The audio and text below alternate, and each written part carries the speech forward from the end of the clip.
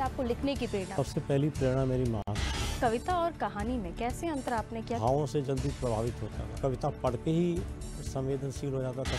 लेखन कार्य के अलावा और किन चीज़ों का आप शौक रखते नंबर दो पर तलाश करूँ तो घूमना। मैं अब तक सैंतीस देशों की यात्रा कर चुका हूँ। इस युग में साहित्य का भविष्य आप कहाँ देखते साहित्य का भविष्य उज्जवल है। नए राइटर्स आ रहे हैं जो अब लिख रहे हैं। वो उतना अट्रैक्ट नहीं कर पा रहे। जब तक वो पढ़ेंगे नहीं तब तक वो अच्छी कविता या अच्छा अच्छा अच्छी रचना गढ़ेंगे नहीं।